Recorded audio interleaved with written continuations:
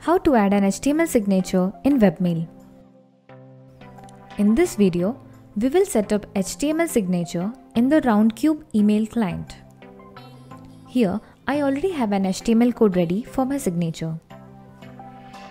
Open your web browser and log into your email account. We will select Roundcube email client. At the top right, click the settings button.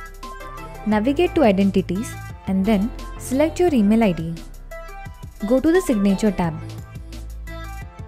If you want to add a plain text signature, you can type in here.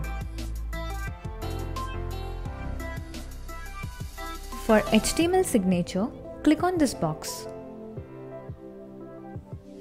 Go to the source code option and copy the source code of your HTML file.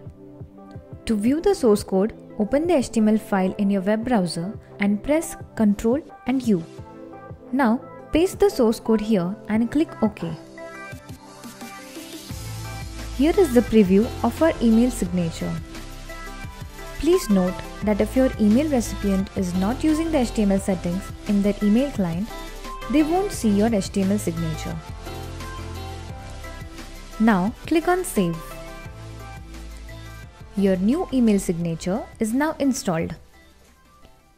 Thank you for watching this tutorial. Give a thumbs up if you found it useful. Reach out to us on this email ID for any of your technical queries. Don't forget to subscribe to our channel for more such videos.